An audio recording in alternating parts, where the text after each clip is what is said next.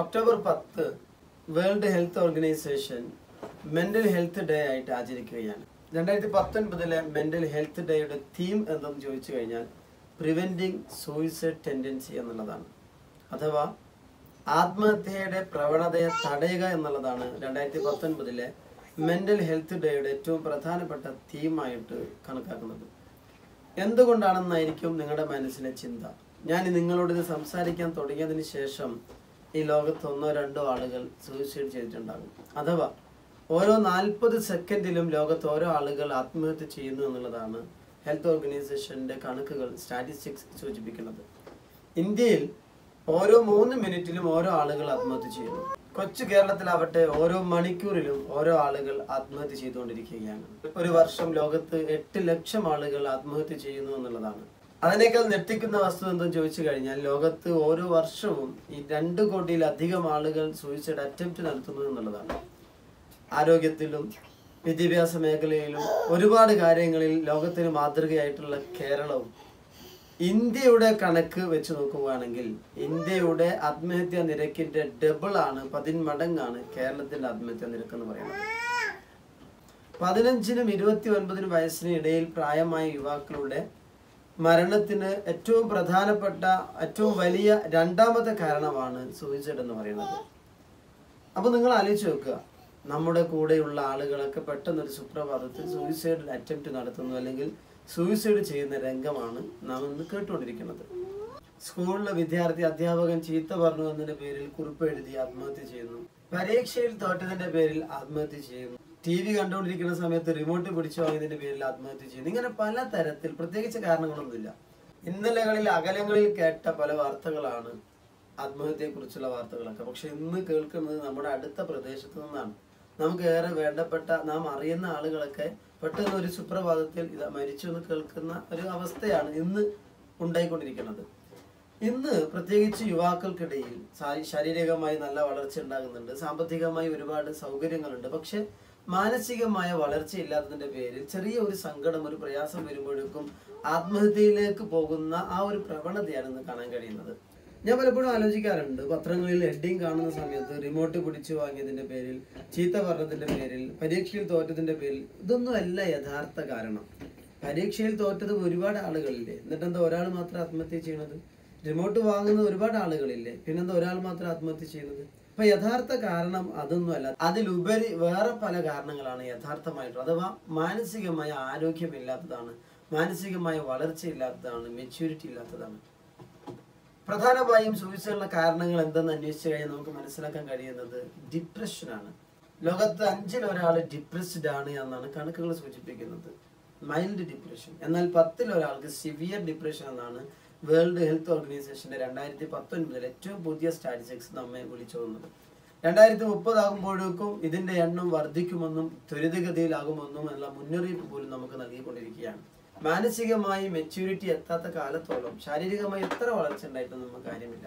Depression panic disorder stress ഇതൊക്കെയാണ് സൂയിസൈഡിനുള്ള കാരണങ്ങൾ എന്തെന്ന് അന്വേഷിച്ചു കഴിഞ്ഞാൽ നമുക്ക് കിട്ടുന്ന ഇൻഫർമേഷൻസ് ഇത്തരത്തിൽ ഡിപ്രഷൻ ഉള്ള പാനിക് ഡിസോർഡർ ഉള്ള ഭയങ്കരമായി സ്ട്രെസ് അനുഭവിക്കുന്ന ആളുകൾ രോഗം വരുത്തി വരുക്കുന്നു അല്ലെങ്കിൽ പിന്നീട് മരണത്തിലേക്ക് പോകുന്നു എന്നുള്ളതാണ് യാഥാർത്ഥ്യം. എല്ലാ ആളുകളും ഡിപ്രഷനിൽ എല്ലാ ആളുകളും മരിക്കണില്ല എല്ലാ ആളുകൾക്കും രോഗം ഉണ്ടാവണില്ല എന്നൊക്കെ നമുക്ക് പറഞ്ഞേക്കാം. പക്ഷേ ഡിപ്രഷൻ ഉണ്ടാവുകയും അതോടൊപ്പം സെൽഫ് എസ്റ്റീം വളരെ കുറയുകയും ചെയ്യുന്ന ആളുകളാണ് സ്വന്തം ശരീരത്തിൽ മുറിവേൽപ്പിക്കുന്നത് അതോടൊപ്പം സൂയിസൈഡ് പോലെയുള്ള കാര്യങ്ങൾക്ക് ശ്രമിക്കുന്നത് എന്നാണ് എന്റെ ഒരു വിലയിരുത്തൽ. സെൽഫ് എസ്റ്റീം എന്ന് പറയുമ്പോൾ സ്വന്തത്തെക്കുറിച്ചുള്ള അവബോധമാണ്. ആ അവബോധം കുറയുക എന്നുള്ളതാണ് നമ്മുടെ ചിന്ത നമ്മുടെ ഫീലിംഗ് നമ്മുടെ വിശ്വാസം ഒക്കെ എനിക്ക് ഒന്നിനും കഴിയില്ല എന്നുള്ള തരത്തിലാണെങ്കിൽ നെഗറ്റീവായ രീതിയിലാണ് എങ്കിൽ സെൽഫ് എസ്റ്റീം വളരെ കുറവാണെന്നുള്ളതാണ്. ഇങ്ങനെ സെൽഫ് എസ്റ്റീം കുറവുള്ള ആളുകൾക്കാണ് കൂടുതൽ സൂയിസൈഡ് ടെൻഡൻസി കണ്ടുവരുന്നത്. അവർ തന്നെയാണ് തന്റെ ശരീരത്തിൽ മുറിവേൽപ്പിക്കുന്നത്. ഇപ്പൊ ഡിപ്രഷനും സെൽഫ് എസ്റ്റീം കുറവും ഇത് രണ്ടും കൂടി വരുന്ന സമയത്ത് സ്വാഭാവികമായും സൂയിസൈഡിലെ ടെൻഡൻസി വളരെ കൂടുതലാണ്. ഒരു കാര്യം ഞാൻ പറയട്ടെ ഇതുവരെയായി നിങ്ങൾ ഈ ചാനൽ സബ്സ്ക്രൈബ് ചെയ്തില്ല എങ്കിൽ സബ്സ്ക്രൈബ് ചെയ്യുക ബെൽ ഐക്കൺ ക്ലിക്ക് ചെയ്യുക ഈ വീഡിയോ എല്ലാവർക്കും ഷെയർ ചെയ്യുക.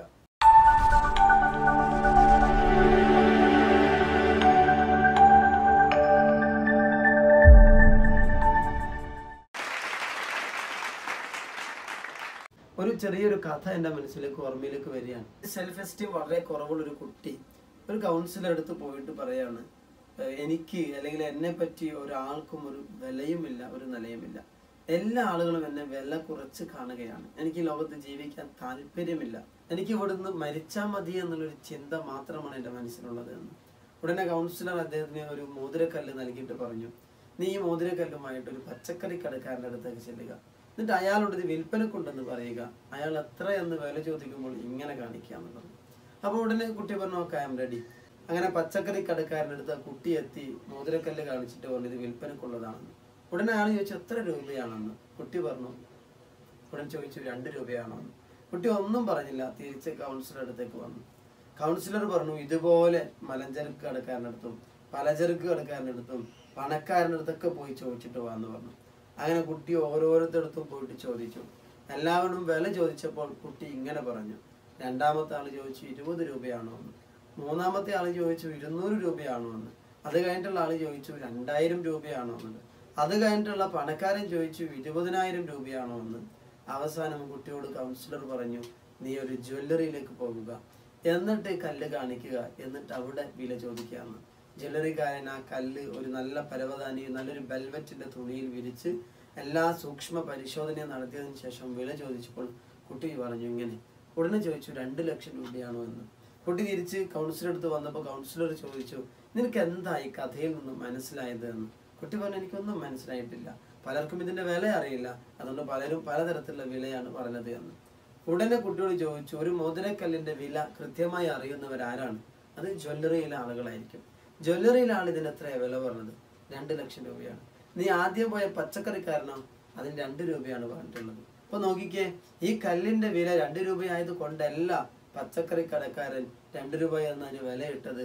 അയാൾക്ക് ഇതിന്റെ വില അറിയാത്തത് കൊണ്ടാണ് അതുപോലെ നിന്നെ കുറിച്ചുള്ള നിന്നെ കുറിച്ച് കൃത്യമായ അറിവില്ലാത്തവരാണ് നിന്നെ വില കുറച്ച് കാണുന്നത്. നിന്നെ കുറിച്ച് ഏറ്റവും നല്ല അറിവുണ്ടാവേണ്ടത് നിനക്കാണ്.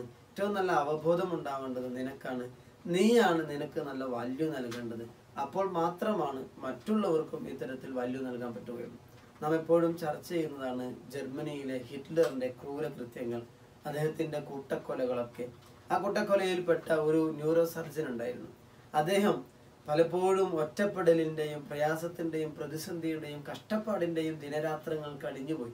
ഒരു ദിവസം കയ്യിലെ ഞരമ്പ് മുറിച്ച് സൂയിസൈഡ് ചെയ്യാൻ വേണ്ടി തീരുമാനിച്ചു. ബ്ലേഡ് എടുത്ത് മുറിക്കുന്നതിന് തൊട്ടു മുമ്പ് ആ ജയിലറകളിലെ ജനാല ഒന്ന് തുറന്നു നോക്കി. തുറന്നപ്പോൾ പുറമേ കാണുന്ന കാഴ്ച മനോഹരമായി പച്ച പുതച്ചു നിൽക്കുന്ന മനോഹരമായ പ്രകൃതിയുടെ കാഴ്ചയായിരുന്നു.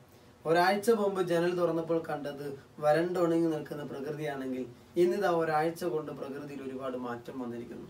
ഉടനെ അദ്ദേഹത്തിന്റെ മനസ്സിൽ വന്ന ചിന്ത പ്രകൃതിയിൽ ഒരാഴ്ച കൊണ്ട് ഇത്ര വലിയ മാറ്റങ്ങൾ വന്നിട്ടുണ്ടെങ്കിൽ ജീവിതത്തിലും ഇത്തരത്തിൽ കടുപ്പമേറിയ പ്രയാസമുള്ള ദിനങ്ങൾ ഉണ്ടാവുകയും പിന്നീട് ഒരു കാലം മനോഹരമായ പച്ചപ്പ് നിറഞ്ഞ സന്തോഷകരമായ ദിനം തിരിച്ചു വരുമെന്നുള്ള പ്രതീക്ഷയോടുകൂടി ആ സൂയിസൈഡ് അറ്റംപ്റ്റ് അവിടെ നിർത്തിവെക്കുകയാണ്. എനിക്ക് നിങ്ങളോട് പറയാനുള്ളത് ജീവിതത്തിൽ പ്രയാസങ്ങളോ പ്രതിസന്ധികളോ പ്രശ്നങ്ങളോ അനുഭവിക്കാത്തവരാരുമില്ല. ഏതെങ്കിലും തരത്തിൽ പ്രശ്നങ്ങൾ അനുഭവിക്കുന്നവരാണ് എല്ലാ ആളുകളും. നാം മറ്റുള്ളവരുടെ പുറമേ ഉള്ള കാഴ്ചകൾ മാത്രമേ കാണുന്നുള്ളൂ. ഉള്ളറകളിൽ അലയുന്ന പ്രയാസങ്ങളെ നാം മനസ്സിലാക്കണില്ല. ആയതിനാൽ പ്രശ്നങ്ങളൊന്നും ഉണ്ടായേക്കാം. നാളെ അതിന് മാറ്റാനുള്ള കഴിവുകൾ നമുക്കുണ്ട്. അതുകൊണ്ട് നാം ഒരിക്കലും നമുക്ക് ദൈവം നൽകിയ അത്രയും മനോഹരമായ ജീവിതത്തെ വേണ്ടെന്ന് വെക്കുന്ന തരത്തിലുള്ള ചിന്തകൾ ഉണ്ടാക്കാൻ പാടില്ല. അതിനെ ദൂരേക്ക് എറിഞ്ഞ് കളയാൻ കഴിയണം. നിങ്ങളെ കൊണ്ട് ലോകത്ത് ചെയ്യാൻ ഒരുപാട് ദൗത്യങ്ങളുണ്ട്. നിങ്ങളെ ഈ ലോകത്തിന് അനിവാര്യമാണ്.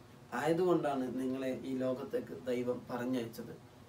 അമ്മയുടെ ഗർഭാശയത്തിലേക്ക് ഒരുപാട് ബീജഗണങ്ങൾ പോയപ്പോൾ അതിനോട് മത്സരിച്ച് നീ എന്ന് പറയുന്ന ഒരു കുട്ടി ലോകത്തേക്ക് പിറന്നു വീണിട്ടുണ്ടെങ്കിൽ ദൈവം നിന്നിൽ എന്തോ കണ്ടിട്ടുണ്ട്.